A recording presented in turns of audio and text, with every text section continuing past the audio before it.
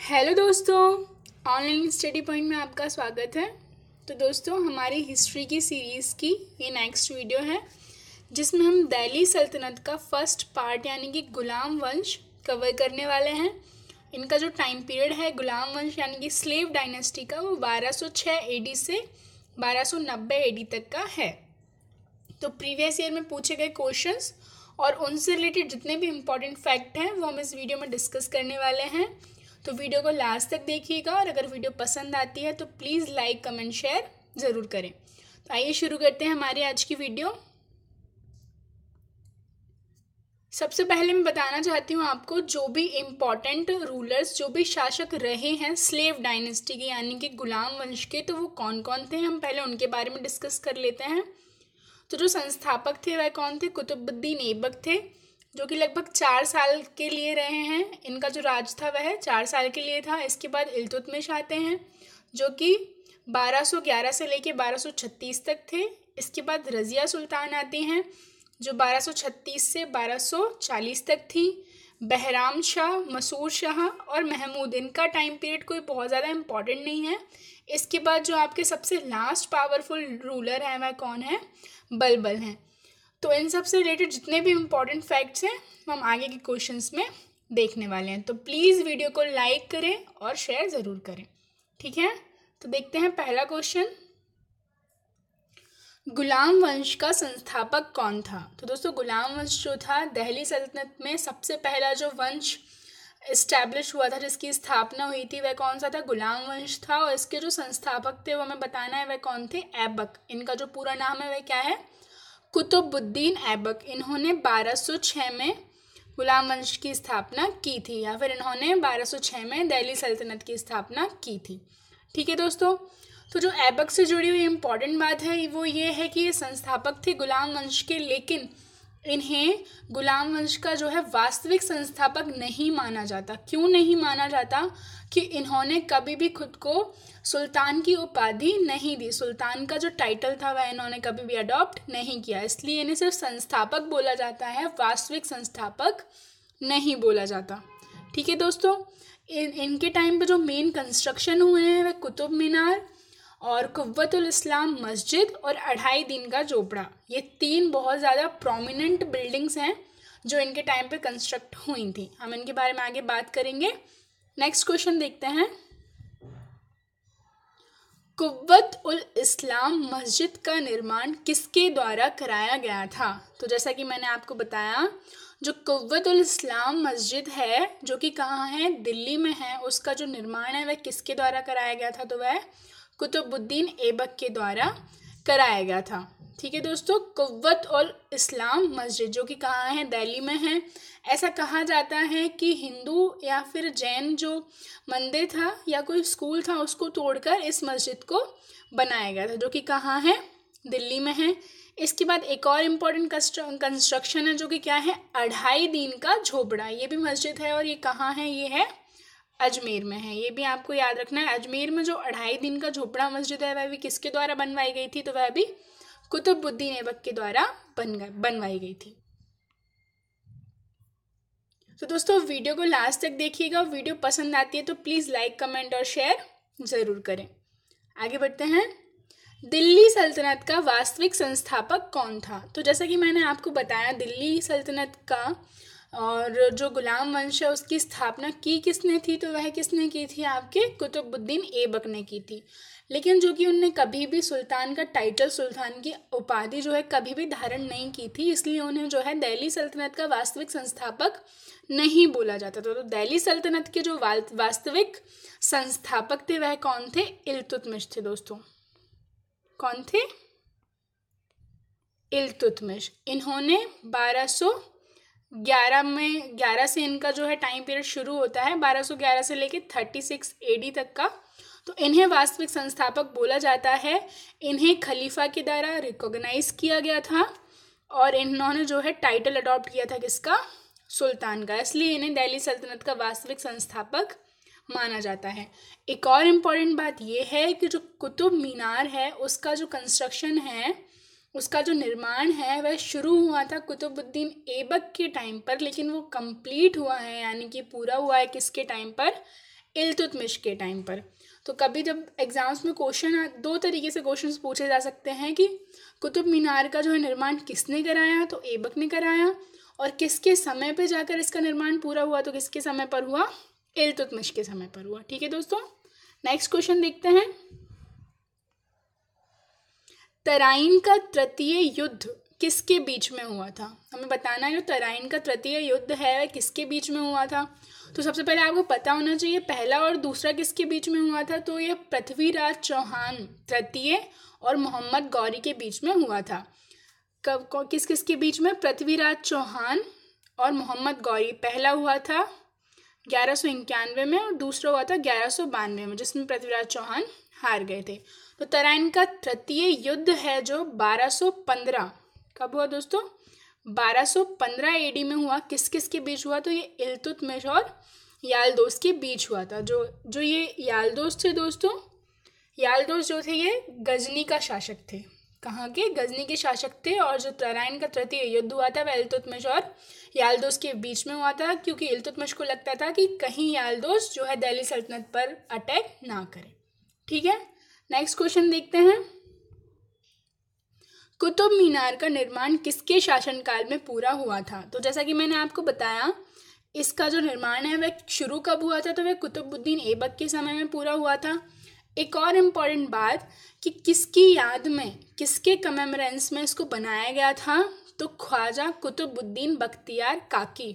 ये आपको याद रखना है, ख्वाजा कुतुबुद्दीन बख्तियार काकी की याद में कुतुबुद्दीन ऐबक के द्वारा इसका निर्माण शुरू कराया गया था और जो इसका निर्माण खत्म हुआ है, यानी कि पूरा हुआ है, वह किसके समय में हुआ है? इल्तुतमिश के समय में हुआ है। इतना आपको याद रखना है। नेक्स्ट क्वेश्चन देखते हैं। दिल्ली सल्तनत की पहली महिला शासक थी। हमें बताना है, दिल्ली सल्तनत में जो पहली महिला शासक थी या आखिरी महिला शासक थी, वह कौन थी? तो वह थी रज़िया सुल्तान, जो कि बेटी थी किसकी? इल्तुतमिश की। इनमें जो एम्प्रर वाली सारी क्वालिटीज़ थी, इस वजह से जो इल्तुतमिश था, वह चाहता था कि दिल्ली सल्तनत की जो सुल्ताना बने, वह कौन बने? रज़िया सुल्तान बने। इसलिए इनको दिल्ली सल्तनत की पहली महिला शासक बोला जाता है और इनका जो टाइम पीरियड है, वह कब से कब तक का है? तो वह 1236 से लेके 1240 तक का है। सिर्फ़ चार साल इनका रूल रहा है।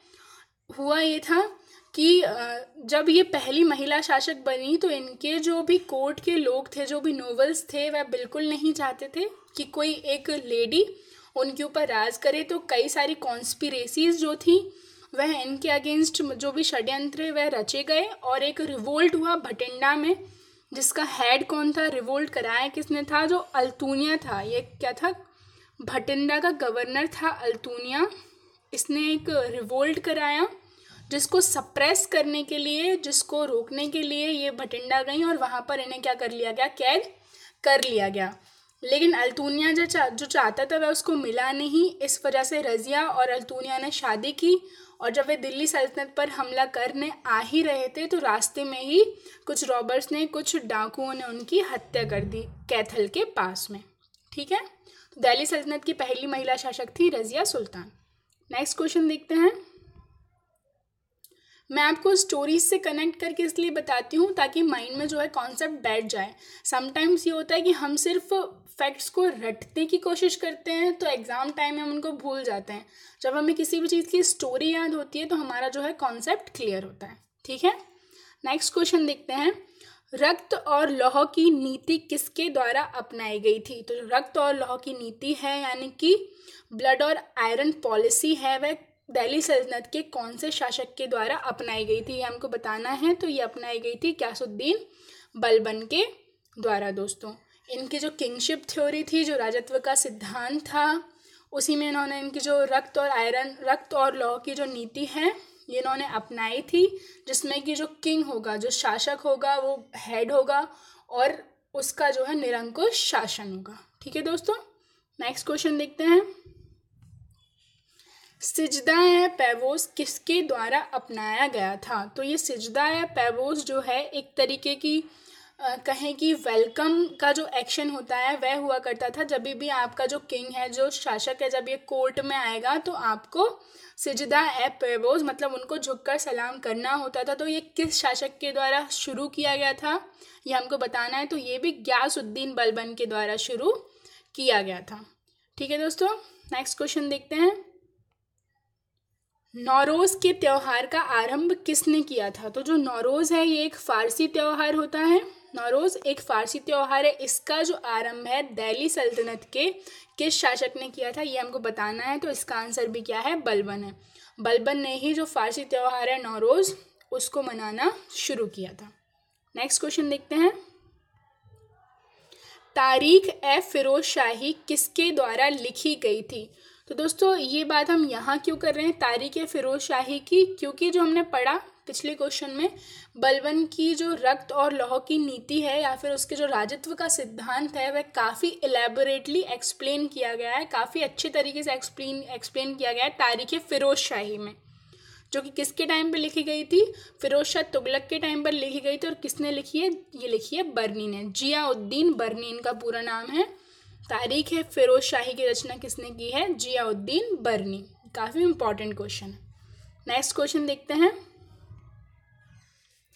तुर्क ए चहलगानी किसके द्वारा ख़त्म किया गया था? तो दोस्तों, तुर्क ए चहलगानी क्या था? सबसे पहले हमें ये पता होना चाहिए तो तुर्की चहलगानी चालीस लोगों का एक समूह हुआ करता था, जो आपका राजा होता था, जो आपका शासक होता था, उसको असिस्ट करने के लिए। कोई भी अगर उनको फैसला लेना है तो उसमें ये क्या करेंगे? एडवाइस देने का काम करेंगे। तो सबसे पहली बात, इसको शुरू किसने किया था? हमें ये भी पता होना चाहिए, इसको शुरू किया गया था इल्तुतमिश के द्वारा। इल्तुतमिश ने इसे स्टार्ट किया था, जिसमें चालीस नोबल्स हुआ करते थे। और इसको ख़त्म किया गया था बलबन के द्वारा, क्योंकि हमने पढ़ा बलबन का जो राजत्व का सिद्धांत है, उसमें वह बिल्कुल नहीं चाहते थे कि उनके किसी भी फैसले में किसी का भी हस्तक्षेप हो। इसलिए उन्होंने तुर्क चहलगानी को ख़त्म किया या अबॉलिश किया। नेक्स्ट क्वेश्चन देखते हैं। दीवाने आरिस संबंधित था। तो हमें बताना है, दीवाने आरिस जो है, ये एक पोस्ट हुआ करती थी। एक और इम्पोर्टेंट बात मैं आपको बताती हूँ कि हिस्ट्री में कई बार ये जो पोस्ट के नाम हैं या कुछ टैक्सेस से रिलेटेड जो पोस्ट होती हैं, उन नाम को हमको याद रखना है। कई बार पूछ लिया जाता है कि ये डिपार्टमेंट किस चीज़ से कनेक्शन रखता है, किस चीज़ से संबंधित है। तो ये हमको पता होना चाहिए, दीवाने आर एस जो है, ये एक मिलिट्री डिपार्टमेंट हुआ करता था, या फिर हम कहें इसको सेना से संबंधित मंत्रालय जो था। वह क्या था? दीवान आर एस जिसको बोला जाता था। आर्मी की जो देख रेख करने के लिए जो एक डिपार्टमेंट हुआ करता था, वह कौन सा था? दीवान आर एस ठीक है? नेक्स्ट क्वेश्चन देखते हैं। गुलाम वंश का अंतिम शासक कौन था? तो जैसे कि मैंने आपको बताया, संस्थापक कौन थे? गुलाम वंश के तो कुतुबुद्दीन ऐबक थे। ठीक है दोस्तों? और दिल्ली सल्तनत के वास्तविक संस्थापक कौन थे? इल्तुतमिश थे। और जो गुलाम वंश के जो अंतिम शासक थे वह कौन थे? मुइजुद्दीन कैकुबाद थे। ये जो थे फैमिली मेंबर थे, किसके? ग्यासुद्दीन बलबन के। ग्यासुद्दीन बलबन के बाद जो सबसे लास्ट रूलर रहे हैं गुलाम वंश के, वह कौन थे? मुइजुद्दीन कैकुबाद। ठीक है? ऐबक जो थे, ये इसके संस्थापक थे। नेक्स्ट क्वेश्चन देखते हैं। मंगोलों के आक्रमण के खतरे के समय सल्तनत का सुल्तान कौन था? तो दोस्तों, जो मंगोलों का आक्रमण सल्तनत पर होने वाला था, तब हुआ नहीं था। हम गुलाम वंश की बात कर रहे हैं। गुलाम वंश में जब मंगोलों का आक्रमण का खतरा था, उस समय जो है सुल्तान कौन था, ये हमको बताना है। तो जो इल्तुतमिश थे, वह सुल्तान थे। जो जलालुद्दीन मांगवरनी थे, ख्वारिज्म एम्पायर के रूलर थे, जलालुद्दीन मांगवरनी इनके ऊपर मंगोलों का अटैक हुआ, आक्रमण हुआ तो इन्होंने मदद मांगी थी इल्तुतमिश से। अगर इल्तुतमिश मदद कर देते तो शायद भारत पर भी उनके समय में मंगोलों का आक्रमण हो जाता, लेकिन उन्होंने मदद करने से इनकार कर दिया, इसलिए भारत पर इल्तुतमिश के समय पर कोई भी मंगोलों का आक्रमण नहीं हुआ। लेकिन खिलजीज के टाइम पर जो है, सबसे ज़्यादा मंगोलों के आक्रमण हुए थे। नेक्स्ट क्वेश्चन देखते हैं। जीतल बोला जाता था। तो दोस्तों, जो इल्तुतमिश थे, इन्होंने कुछ करेंसी कुछ मुद्राएँ चलाई थी, जो सिल्वर की, जो चांदी की थी, उनको टंका बोला जाता था, और जो जीतल की जो थी, ये किसकी होती थी? कॉपर यानी कि तांबे की जो करेंसी थी, तांबे की जो मुद्रा थी, उसको क्या बोला जाता था? जीतल बोला जाता था। तो जीतल क्या है एक तरीके की? मुद्रा है जो किससे बनी होती थी? तांबे से बनी होती थी। नेक्स्ट क्वेश्चन देखते हैं। कुतुब मीनार के पाँचवें मंजिल का निर्माण किसने कराया था? तो जैसा कि मैंने आपको कुतुब मीनार के बारे में बताया, कुतुब मीनार का जो कंस्ट्रक्शन है, वह किसके समय में स्टार्ट हुआ था? कुतुबुद्दीन ऐबक के समय में हुआ था। किसके समय में ख़त्म हुआ था? तो ये आपका हुआ था इल्तुतमिश के समय में। और किसकी रिमेम्बरेंस में, किसकी याद में बनवाया गया था? तो ख्वाजा कुतुबुद्दीन बख्तियार काकी की याद में बनवाया गया था। और इसका जो पांचवा मंजिल है, पांचवा फ्लोर है, उसका जो निर्माण, उसका कंस्ट्रक्शन कराया गया था फिरोज शाह तुगलक के। द्वारा दोस्तों, ठीक है? ये तीनों नाम आपको याद रखने हैं। नेक्स्ट क्वेश्चन देखते हैं। एकता प्रणाली की शुरुआत की थी। जो एकता सिस्टम था, जो एकता प्रणाली थी, उसकी शुरुआत किसने की थी? ये हमको बताना है। इसकी शुरुआत इल्तुतमिश ने की थी। एकता प्रणाली क्या थी? आपका जो पूरा प्रोविंस होता था, पूरा जो आपका राज्य था उसको इकताज में डिवाइड कर दिया जाता था, बांट दिया जाता था और उनके जो हेड होते थे, वह कौन होते थे? इख्तेदार होते थे, जो क्या करते थे? टैक्स कलेक्ट करके और आपके रूलर तक, शासक तक भेजते थे। ठीक है तो एकता प्रणाली की शुरुआत किसने की थी? इल्तुतमिश ने की थी। नेक्स्ट क्वेश्चन देखते हैं। कुतुबुद्दीन ऐबक की मृत्यु कैसे हुई? तो जो कुतुबुद्दीन ऐबक थे, जो कि संस्थापक थे, किसके? दिल्ली सल्तनत के इनकी मृत्यु कैसी हुई हमको बताना है। तो चौगान, जो कि एक गेम होता है, जिसको बोला जाता है पोलो, ये खेलते समय घोड़े से गिरकर कुतुबुद्दीन ऐबक की मृत्यु हुई थी। ठीक है? नेक्स्ट क्वेश्चन देखते हैं। चंगेज़ खान का वास्तविक नाम क्या था? तो जैसा कि मैंने आपको बताया, जो मंगोल आक्रमण होते थे, उनके जो हेड होते थे वह कौन थे? चंगेज़ खान थे। ये क्या थे? एक मंगोल थे। और भारत पर जब गुलाम वंश के कौन से रूलर थे जब इनका खतरा था मंगोल आक्रमण का तो इल्तुतमिश थे, क्योंकि जो आपके जलालुद्दीन मांगबरनी थे, उन्होंने उनसे हेल्प मांगी थी, लेकिन इन्होंने मना कर दिया था। इसलिए भारत पर इल्तुतमिश के समय पर कोई भी आक्रमण नहीं हुआ। तो हमें बताना है, चंगेज़ खां का वास्तविक नाम क्या था? तो इनका जो वास्तविक नाम था, वह क्या था? तिमुचिन था, दोस्तों। ठीक है? नेक्स्ट क्वेश्चन देखते हैं। रज़िया और अल्तुनिया की मृत्यु कहाँ हुई थी? तो जैसा कि मैंने आपको बताया, जो रज़िया थी, वह है दिल्ली सल्तनत की पहली महिला शासक थी। इनका जो टाइम पीरियड मैंने आपको बताया था, बारह सौ छत्तीस से लेकर बारह सौ चालीस तक का था। और अल्तुनिया जो थे इनके भटिंडा के गवर्नर थे, जिनसे रज़िया ने जो है शादी कर ली थी। और जब ये दोनों दिल्ली की ओर आ रहे थे तो कैथल के पास में कुछ रॉबर्स कुछ डाकुओं ने इनकी हत्या कर दी थी। एक और इंपॉर्टेंट बात मैं आपको बताती हूँ, ये क्वेश्चन कई बार एग्ज़ाम में पूछा जाता है कि दिल्ली सल्तनत की जो कैपिटल है, वह लाहौर से दिल्ली किसने शिफ्ट की थी? तो जब ऐबक ने दिल्ली सल्तनत की स्थापना की थी, गुलाम वंश की स्थापना की थी, तब जो कैपिटल थी, वह क्या थी? लाहौर थी दोस्तों। क्या थी? लाहौर थी। लेकिन इल्तुतमिश जो थे, इन्होंने कैपिटल शिफ्ट करके किसको? दिल्ली को कैपिटल बनाया था। ये क्वेश्चन भी एग्ज़ाम में पूछा जाता है। इल्तुतमिश के द्वारा ही दिल्ली को राजधानी बनाया गया था। ठीक है दोस्तों, ये थी हमारी आज की वीडियो। मैं आपको थोड़ा सा रिवीजन करवाती हूँ कि सबसे पहले हमने बात की कुतुबुद्दीन ऐबक की। तो कुतुबुद्दीन ऐबक जो थे, गुलाम वंश के संस्थापक या फिर दिल्ली डायनेस्टी दिल्ली सल्तनत के जो थे, संस्थापक थे, लेकिन इनको एक्चुअल फाउंडर वास्तविक संस्थापक नहीं बोला जाता था। क्योंकि इन्होंने कभी भी सुल्तान का टाइटल अडॉप्ट नहीं किया था। इन्होंने कभी भी सुल्तान की उपाधि धारण नहीं की थी। इनके टाइम की जो इम्पोर्टेंट बातें हमें याद रखना है, वह तीन बिल्डिंग्स के कंस्ट्रक्शन हमें याद रखना है। कुतुब मीनार, जिसका जो है निर्माण इनके समय में शुरू हुआ था। किसके रिमेम्बरेंस में, किसकी याद में? तो ख्वाजा कुतुबुद्दीन बख्तियार काकी, ये नाम याद रखना है। फिर जो है कुत उल इस्लाम मस्जिद, जो कि कहाँ है? दिल्ली में है। ये भी किसके द्वारा बनाई गई थी? कुतुबुद्दीन ऐबक के द्वारा बनाई गई थी। इसके बाद आपका अढ़ाई दिन का झोपड़ा जो मस्जिद है, जो कि कहाँ है? अजमेर में है। ये भी किसके द्वारा बनाई गई थी? तो कुतुबुद्दीन ऐबक के द्वारा बनाई गई थी। फिर हम बात करते हैं इल्तुतमिश की। तो जो इल्तुतमिश थे, इन्हें दिल्ली सल्तनत का वास्तविक संस्थापक बोला जाता था, क्योंकि इन्होंने खुद को खलीफा से रिकॉग्नाइज कराया था और इन्होंने टाइटल यानी कि उपाधि धारण की थी किसकी?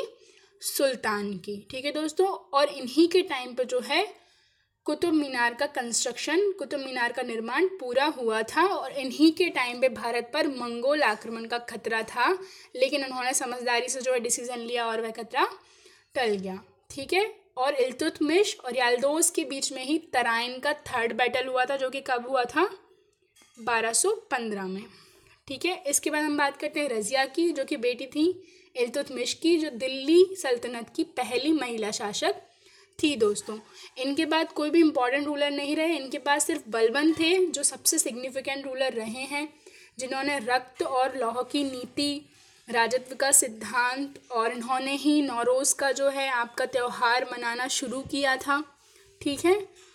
ये सारी इंपॉर्टेंट बातें थी, जो कि गुलाम वंश के बारे में थी। इन्हीं से क्वेश्चन पूछे जाते हैं। इससे बाहर कोई भी फैक्ट नहीं जाएगा। ठीक है? वीडियो पसंद आती है तो प्लीज़ लाइक कमेंट शेयर ज़रूर करें।